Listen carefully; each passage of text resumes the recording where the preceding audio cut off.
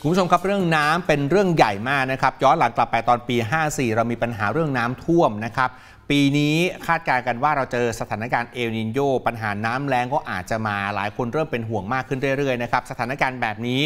ในเชิงเศรษฐกิจคนที่อยู่ในนิคมอุตสาหกรรมอาจจะมีความกังวลหรือไม่อย่างไรบ้าง ติดตามสถานการณ์ล่าสุดวันนี้เราพูดคุยกันกับ คุณบีริศอมรปานผู้ว่าการการนิคมอุตสาหกรรมแห่งประเทศไทยหรือกนอด้วยกันนะครับ คุณบีริศสวัสดีครับ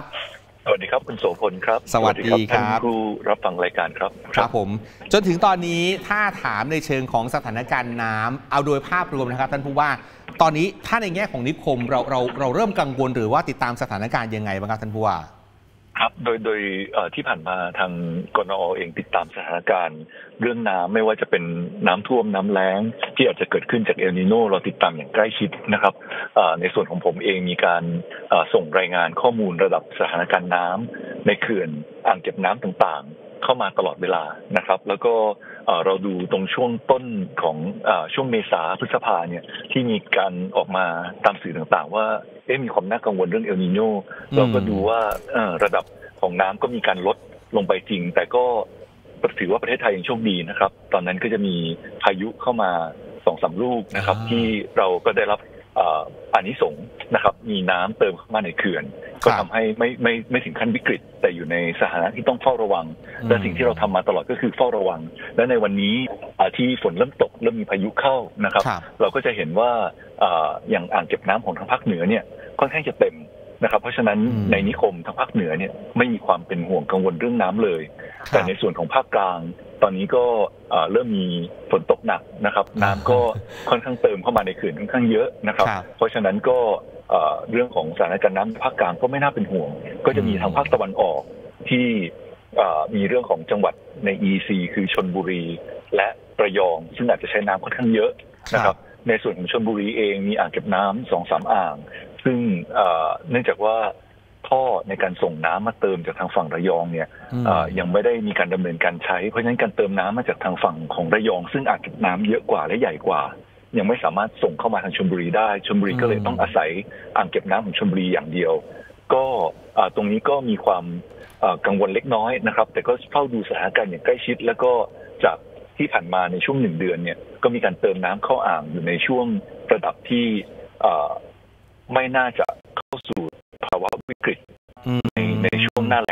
ครับครับครับในไหนๆท่านผู้ว่าพูดถึงตัวทางภาคตะวันออกก็เห็นก่อนหน้านี้ก็มีคนพูดถึงตัว EEC เหมือนกันว่า หลายคนเป็นห่วงอย่างที่ท่านผู้ว่าบอกเลยครับ เราต้องเตรียมแผนรองรับเป็นแผน 2 แผน 3 ไว้ไหมครับว่า ถ้าถึงสถานการณ์นั้นจริงๆเนี่ยเราจะหาแหล่งน้ำตรงไหนมามาเซิร์ฟให้กับตรง EEC ได้ครับบ้างครับท่านผู้ว่า ครับในส่วนของการนิคมเองเออตั้งแต่เมื่อสองปีที่แล้วที่ผมเข้ามารับตำแหน่งใหม่ๆเนี่ยครับก็มีการเอ่อหาแหล่งน้ำสำรองไว้อืมในพื้นที่ของ EC นะครับหลายแหล่งเลยครับนะครับ ซึ่งปริมาณน้ำสำรองที่กนอสำรองไว้เนี่ยเอ่อคาดว่าถ้าถึงปลายปีนี้ต้นปีหน้าเนี่ย น่าจะสามารถจ่ายน้ำเข้ามาในพื้นที่ในลักษณะเป็นน้ำสำรองนะครับครับ ได้ประมาณ 1 5 0 0 0 0 ถึง 2 0 0 0 0 ลูกบาศก์เมตรต่อวันอืมนั่นคืออาความสามารถในการจ่ายน้ำแต่ว่าอ่า โดยภาพรวมแล้วพื้นที่นิคมของการนิคมในพื้นที่มาบตาพุธนะครับ จังหวัดระยองเนี่ยต้องการน้ำอ่าประประมาณ 2 5 0 0 0 0 ลูกบาศก์เมตรต่อวัยันงขาดอยู่นิดซึ่งหน่อยซึ่งอ่าซึ่งก็อ่า นี่คือแหล่งน้ำสำรองที่เดียวเนี่ยเกือบอืมแสนห้าหมื่นสองแสนเพราะฉะนั้นเมื่อเติมจากแหล่งน้ำหลักก็คืออาไม่ว่าจะเป็น East Water หรือวงสยามที่รับสัมปทานมาจากกรมธนารักษ์เนี่ยเชื่อว่าทางพื้นที่ของนิคมในอ๋ออ่าจังหวัดระยองไม่ขาดแคลนน้ำอย่างแน่นอนนะครับอ๋อและครับเอ่อที่ผ่านมาเราก็มีการพูดคุยกับทางทั้ง East Water วงสยาม แล้วก็แหล่งน้ำสำรองเราในพื้นที่ของชนบุรี ก็ค่อนข้างจะมั่นใจว่าเอ่อในช่วง ปลายปีนี้ถึงต้นปีหน้าเนี่ยการบริหารจัดการน้ำในพื้นที่ของนิคมอุตสาหกรรม ไม่ไม่น่ามีปัญหาเลยครับ ครับครับครับเมื่อสักครู่เราคุยกันในมุมของความเป็นความเป็นห่วงเรื่องเอนินโยว่าน้ำมันจะแรงแต่เมื่อสักครู่อย่างที่เราเห็นกันช่วงนี้กรุงเทพฝนตกหนักมาก แล้วก็ภาคกลางแล้วก็อีกหลาย ๆ พื้นที่ฝนตกหนักมาก กลายเป็นว่าอีกด้านหนึ่งเป็นห่วงเรื่องน้ำท่วมเข้าไปอีกนะครับสถานการณ์มันมันดูมันจะเหวี่ยงทั้งสองด้านเหมือนกัน ประเด็นเรื่องครับน้ำที่มันจะมากเกินไปโดยเฉพาะในพื้นที่สิ่งเสี่ยงเนี่ยกนอติดตามเรื่องนี้แล้วสถานการณ์เป็นยังไงบ้างครับท่านผู้ว่าครับ ในในในส่วนของน้ำน้ำท่วมและน้ำแล้งนะครับ ในถ้าเรื่องน้ำท่วมอย่างเดียวเนี่ย พื้นที่ของกนอส่วนใหญ่ ทุกเกือบเกือบร้อยเปอร์เซ็นแล้วครับอ่าในพื้นที่นิคมเราเนี่ยมีเขื่อนกั้นน้ำและระบบระบายน้ำที่ดีอืมเพราะฉะนั้นเอ่อเราไม่ค่อยเป็นห่วงเรื่องน้ำจะท่วมเหมือนปี54นะครับอ่ายังเหลืออยู่แค่พื้นที่เดียวที่เกิดปัญหาเมื่อเออปีครับ64ก็คือพื้นที่นิคมบางปูอ่าซึ่งเป็นครับที่ลุ่มต่ำและติดทะเลนะครับเอ่อ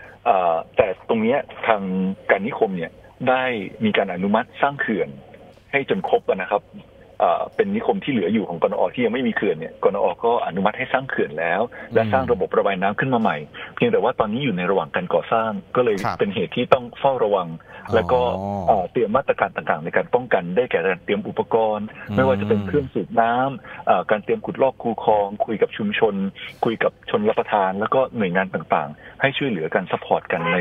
ในส่วนของการที่จะเอ่อระบายน้ำหากเกิดฝนตกหนักในพื้นที่ครับ ครับก็คือเหลือแค่ที่บางปูที่เดียวแล้วก่อสร้างถ้าก่อสร้างเสร็จก็คือเท่ากับร้อยเปอร์เซ็นต์แล้ว แต่ว่าขออนุญาตใช่ครับถามท่านผู้ว่าเจาะลงไปที่พื้นที่ที่อ่อนไหวมากๆ อย่างเช่น ที่อยุธยา ซึ่งน้ำท่วมเป็นประจำแล้วก็ท่วมสูงมาก ตรงนั้นเราบริหารจัดการสถานการณ์ล่าสุดเป็นยังไงบ้างครับท่านผู้ว่าครับเอ่อเราติดตามสถานการณ์มาตลอด แต่ว่าเอ่อพื้นที่ของน้ำรอบๆนิคมอุตสาหกรรมเนี่ยยังอืมยังไม่มีการท่วมขังนะครับยังแล้วก็ครับโดยเขื่อนเนี่ยระดับสูงกว่าระดับน้ำทะเลประมาณ 7 เมตรนะครับอืมซึ่งถือว่าสูงมากแล้วก็เอ่อ สามารถกันเอ่อถ้าหากว่าน้ำไหลมาเอ่อจากมวลน้ำนะครับเหมือนในปี 54 เนี่ยเราดูจากสถิติของปี 54ครับนะครับเอ่อมวลน้ำในสถิติของปี 54 เนี่ยยังยังสูงไม่ถึง 7 เมตร เพราะฉะนั้นเราสามารถกันอยู่แน่นอนครับครับครับครับครับโดยภาพรวมไม่น่าห่วงทั้งเรื่องของน้ำท่วมแล้วก็น้ำแล้ง ประเด็นเรื่องน้ำเนี่ยต่างชาติเขาให้ความสนใจมีสอบถามเข้ามาไหมครับว่าเราบริหารจัดการอย่างไรบ้างมองในมุมของความมั่นใจของต่างชาติครับท่านผู้ว่า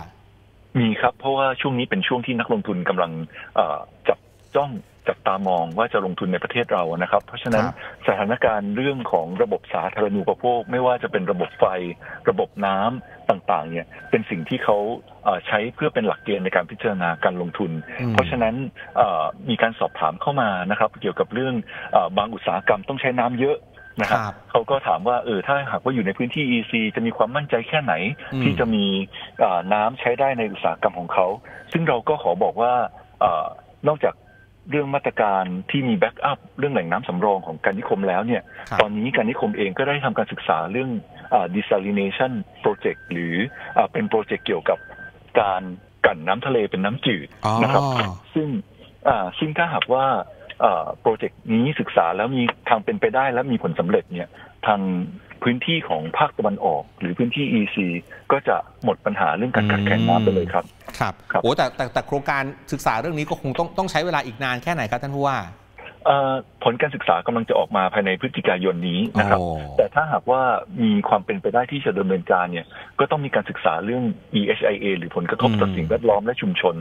อ่าและสุขภาพ เพราะฉะนั้นทางการนิคมคงต้องดำเนินการอย่างเคร่งครัดต่อไปครับครับครับขอขออนุญาตถามตรงตรงนี้เป็นพิเศษเลยนะครับว่าถ้าถ้าหากว่ามันสามารถใช้ได้เรื่องรายงานผลกระทบต่อสิ่งแวดล้อม EIA SAA ต่าง ๆ เรียบร้อยแล้วกว่าจะได้ผลในเชิงพาณิชย์ถ้าเราจะสามารถทำได้แบบนั้นจริงๆเนี่ยมันต้องกินเวลาสักกี่ปีครับท่านผู้ว่าคือจากวันนี้น่าจะไปถึงประมาณสักปี68ครับ ไม่เกินน่าสอจะงปีสครั้ไม่เกินสองปี คิดว่าครับอืมครับอืมก็ถือว่าเร็วนะท่านผู้ว่าเอาจริงๆก็ถือว่าเร็วนะ ถ้าทำได้จริง ๆ ตามนั้น ทุกวันนี้การนิคมเอ่อทำอะไรเราก็พยายามทำให้ให้เกิดประสิทธิภาพสูงสุดนะครับครับ ครับครับครับเรียนถามนิดนึงครับเพราะว่าเมื่อกี้ท่านผู้ว่าก็พูดว่าต่างชาติเขาก็ให้ความสนใจ แล้วก็ตามข่าวที่ออกมาก็คือว่าเอกชนในต่างชาติหลายหลายๆชาติเนี่ยพยายามที่จะแก้ปัญหาเหมือนที่เคยเกิดขึ้นตัวซับพวงโซ่อุปทานของเขา ตอนสมัยจีนก็ดีอะไรต่างๆ ก็ดีเนี่ยแล้วประเทศไทยก็เป็นหนึ่งประเทศที่ต่างชาตินิยมที่จะ มาลงทุนหุ้นที่เกี่ยวข้องกับนิคมอุตสาหกรรมก็เติบโตมากๆเลยทีเดียว มองในมุมของกรนอต่างชาติให้ความสนใจเรามากน้อยแค่ไหน และเรามีจุดเด่นอะไรที่เตรียมไว้สำหรับต่างชาติที่จะเข้ามาบ้างครับท่านผู้ว่าครับเอ่อประเทศเราเนี่ยมีจุดเด่นเรื่องการเป็นฐานของอุตสาหกรรมมานานแล้วนะครับครับแล้วก็จริง ๆ แล้วเอ่อโดยลักษณะนิสัยของคนไทยเนี่ยต่างชาติที่ไหนเข้ามาเนี่ยก็จะชื่นชม แล้วก็เอ่อมีความรู้สึกว่าเออมีความสุข ที่ได้ทำงานอยู่ด้วยในบ้านเรานะครับครับเพราะว่าเอ่อก็คือพูดคุยกันได้เข้าใจ แล้วก็มีความสามารถมีสามารถพัฒนาทักษะฝีมือแรงงานต่างๆ ได้นะครับ แล้วก็คนไทยมีน้ำใจอืมนะครับเอ่อแต่ในในส่วนของเรื่องเออภาค infrastructure นะครับอ่าหรือโครงสร้างพื้นฐานครับตัว EEC นี่ก็เป็นแม่เหล็กที่จะดึงคนเข้ามาเลยอืมเพราะว่าในในปีนี้นะครับการลงทุนในในเรื่องนิคมอุตสาหกรรมเนี่ยเมื่อกี้ผมเพิ่งให้สัมภาษณ์นักข่าวไปนะครับครับบอกว่า เอ่อเราตั้งเป้าไว้ว่าเราจะทำพื้นที่ขายเช่าได้อ่า2,500 ไร่เมื่อต้นปี แต่พอถึงปลายปีที่ผ่านมาแล้วเนี่ย ปีงบประมาณนะครับ ปลายปีครับงบประมาณที่ผ่านมาเนี่ยอืมอืมการนิคมสามารถขายเช่าพื้นที่ได้ประมาณ 5,000 กว่าไร่อืมครับนะครับ ซึ่งสูงมากนะฮะเอ่อตรงนี้เลยแล้วแล้วในในปริมาณพื้นที่ขายเช่าทั้งหมดเนี่ยประมาณ 80 กว่าเปอร์เซ็นต์เนี่ยเป็นพื้นที่ EEC อืม ก็ทำให้คนเห็นว่าอ่า EEC เนี่ยเป็นแมกเนตในการดึงดูดนักลงทุนและอ่าทำให้เกิดความเห็นว่าเออนักลงทุนเนี่ยเห็นศักยภาพของ EEC ถ้าหากว่ายิ่งโครงสร้างพื้นฐานต่างๆ รถไฟเชื่อมสามสนามบินอ่าหรือว่าไอ้ท่าเรือสนามบินต่างๆสำเร็จตามแผนของ EEC เราก็จะเห็นว่าเม็ดเงินลงทุนหรือนักลงทุนก็จะยิ่งเข้ามาในพื้นที่นี้มากขึ้นแน่นอนนะครับ อันนี้อันนี้เป็นเป็นสิ่งที่เอ่อทาง ทางกนอเนื่องจากอยู่ในวงการนี้นะครับ ก็จะเห็นอืมแล้วก็จะสามารถบอกได้ว่านักลงทุนมีความมั่นใจและยังติดต่อเข้ามาเรื่อยๆ ครับครับ EEC เป็นพื้นที่สำคัญเป็นแมกเนตนะครับ เรามีโครงสร้างพื้นฐานที่ดี เรามีตัวสิ่งที่เรียกว่าเป็นแรงจูงใจให้ต่างชาติเข้ามาเพิ่มเติม ท่านผู้ว่าคิดว่ามีอะไรอีกบ้างไหมครับ ที่เราสามารถทำได้ เพื่อที่จะเพิ่มเสน่ห์ของการลงทุนที่ต่างชาติจะเข้ามาลงทุนในบ้านเรา ตรงไหนคือตรงสิ่งที่เราสามารถพัฒนาต่อเนื่องไปได้อีกครับ ครับเอ่อในเรื่องของทักษะฝีมือแรงงานเราสามารถทำได้นะครับอืมแล้วก็เรื่องของเออไม่ว่าการศึกษาระบบการศึกษาเรื่องอาชีวศึกษาต่างๆ เนี่ยเอ่อเราสามารถสร้างคนขึ้นมาเพื่อให้ตรงกับประเภทของอุตสาหกรรมนะครับ แล้วก็ในส่วนของสิทธิประโยชน์ผมเชื่อว่าตอนนี้ BOI แล้วก็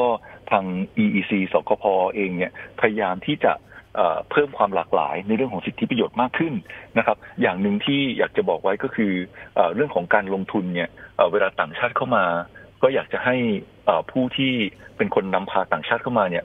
พามาพบกับเอ่อหน่วยงานภาครัฐที่สามารถอืมเอ่อครับสร้างความมั่นใจให้กับเขาได้ ไม่ว่าจะเป็น BOI การนิคม หรือว่าเอ่อเขตศูนย์อุตสาหกรรมต่าง ๆ เนี่ยนะครับ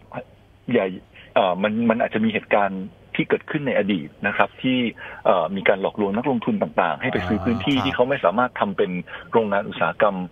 อันไอ้พวกเนี้ยมันก็จะทำให้เสียชื่อประเทศนะครับอืมก็ก็อยากจะให้ช่วยกันสร้างความมั่นใจให้กับนักลงทุนครับครับผมขอบคุณมากครับท่านผู้ว่าครับ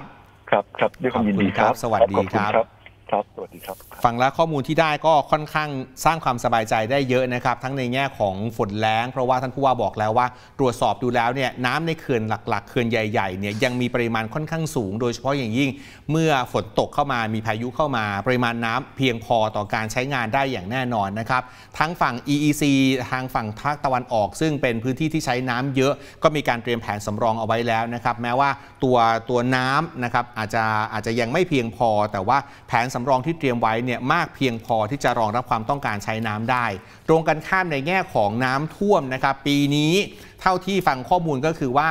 นิคมอุตสาหกรรมที่อยู่ในการดูแลของกนอตอนนี้เหลือเพียงแค่จุดเดียวเท่านั้นก็คือ นิคมอุตสาหกรรมที่บางปูที่ยังไม่มีกำแพงล้อมรอบนะครับซึ่งก็อนุมัติงบประมาณไปแล้ว ก่อสร้างก็น่าจะภายในปีนี้ เหลือแค่จุดเดียวเพราะฉะนั้นตอนนี้ที่นิคมอุตสาหกรรมบางปู เตรียมพร้อมทั้งในแง่ของอุปกรณ์ แล้วก็ผู้คนต่างๆ เพื่อรับสถานการณ์เรียบร้อยทั้งหมดแล้ว ส่วนเรื่องของการดึงต่างชาติเข้ามาตัวเลขของกนอทะลุเป้าไปเรียบร้อยแล้วนะครับแล้วก็ยังมั่นใจอยู่ว่า EEC จะเป็นแมกเนตยิ่งถ้าหากว่าโครงสร้างพื้นฐานของเรารถไฟฟ้าเชื่อม 3 สนามบินและอื่น ๆ พร้อมมากกว่านี้ เชื่อว่าจะยังมีนักลงทุนต่างชาติเข้ามาลงทุนในบ้านเราเพิ่มอย่างต่อเนื่องได้อีกเช่นเดียวกันนะครับ